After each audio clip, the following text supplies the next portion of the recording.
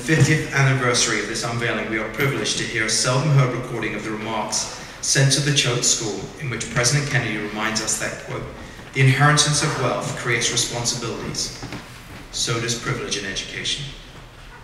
His remarks remain remarkably contemporary and vital today. And after hearing the recording, we will also hear from President Kennedy's nephew and Choate parent, Ted Kennedy Jr., on America's historic legacy of public servants and the important role that Choate Rosemary Hall continues to play in terms of instilling public responsibility in every one of its students. Thank you. I have to just say, I'm filled with a little bit of nervousness and trepidation because I've had the challenge of having to follow many gifted speakers. But following my uncle is an experience that I've never prepared for. My first reaction is that my uncle's words and message are so clear, they hardly need elaboration. Despite the, the recording from many years ago, his message of 50 years ago seems amazingly contemporary and timeless because of the issues that he addresses, namely his observations that diversity is one of America's strengths, and that the purpose of a Choate education is to look beyond the horizons of our own immediate lives.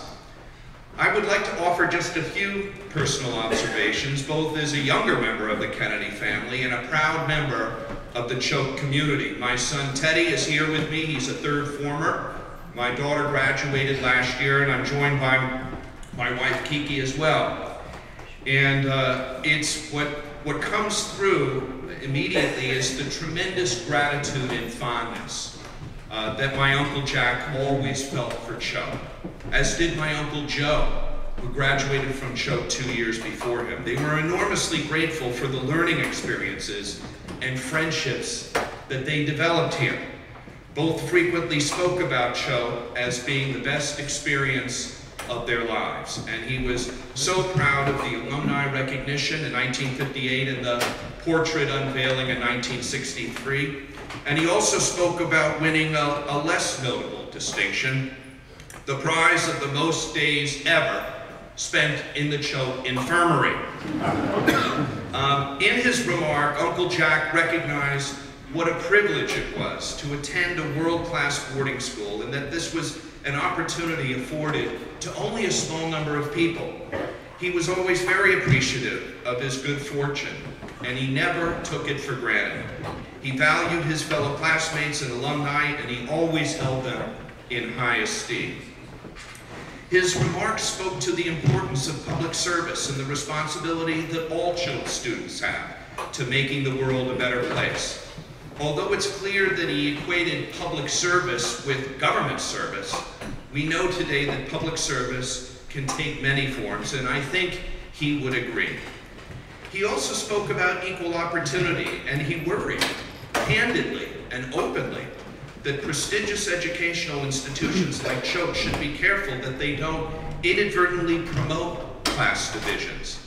And that because of their unique role in American society, schools like Choate had an affirmative obligation to better represent what he called the diversity of American life. I also like what he said about the role that the role of education was to, quote, prepare young men and women for service to the community and the nation. How remarkably liberated for a man to say in the early 1960s. Another important theme of his remarks is the idea of communitarianism. Communitarianism is the idea that we are all part of a greater society and that the goal of education is not just to enable personal success, but to promote future leaders who will work towards political and economic fairness for everyone. I have with me just, I went through some of the letters that were exchanged between my uncle uh, and uh, and the, my grandmother and showed it was it's remarkable the collection because if you can imagine at the time uh, writing home twice a week over a four-year period my family has a collection of about 250 letters that my Uncle Jack corresponded with various members of the family, and it's an incredible record, and there's a number of letters here in the, in, in the Choate Library as well. one letter just to, uh, uh, that's a reflection of, his experience here, which was not unlike every other Choate student. Um, in a letter to Mrs. St. Uh, that Mrs. St. John wrote to my grandmother Rose. She said, quote, Jack and Joe came over to tea this afternoon. Dr. Curtis, do you still have teas?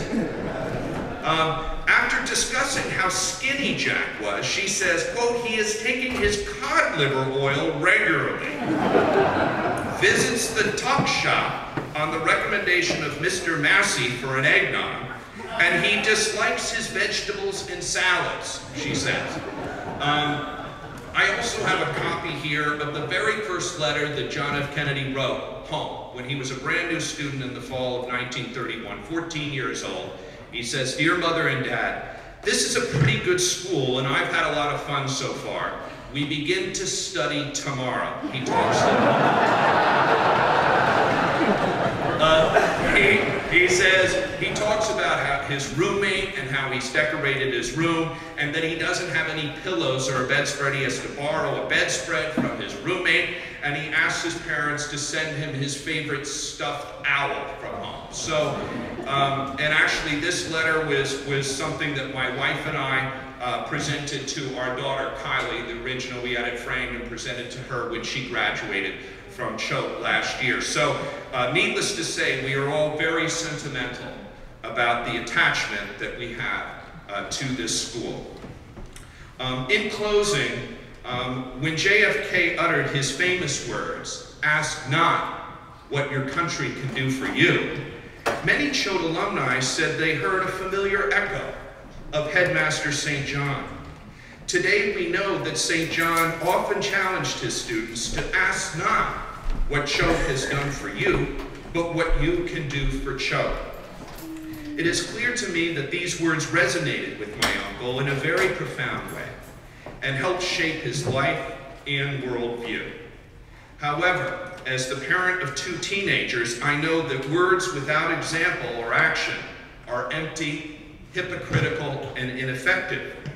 I firmly believe that St. John's ethic must have been reinforced on a daily basis by Choate's teachers, traditions, and values, and embodied in everything that Choate stood for and continues to stand for today.